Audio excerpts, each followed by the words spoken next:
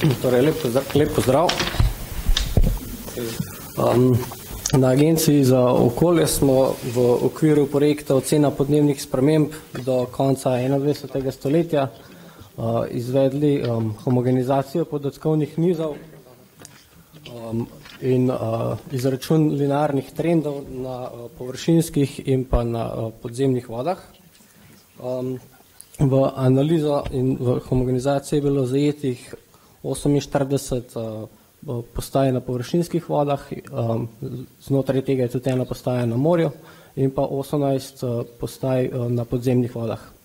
Homogenizacija je bila upravljena um, na, se pravi, na površinskih vodah za obdobje od leta 1953 do 2015, na podzemnih vodah pa za obdobje od leta 1969 do 2015. Potem je bila na podlagi teh homogeniziranih podatkovnih nizov uh, izvedena analiza uh, oziroma izračun linearnih trendov in glavni rezultat teh, te analize je bil, da je na vseh obravnavanih vodomernih postajah statistično značilen trend rasti temperature vode na letni ravni. Um, so pa prisotne nekatere regionalne razlike, predvsem pri površinskih vodah, kjer je uh, lepo viden vzorec oziroma geografska razporeditev, um, uh, kjer uh, jakost trenda uh, tem, rasti temperature vode narašča od zahoda proti vzhodu, um, pri tem je pa poprečen, poprečen trend rasti um, 1,9 uh, stopinje Celzija na 100 let.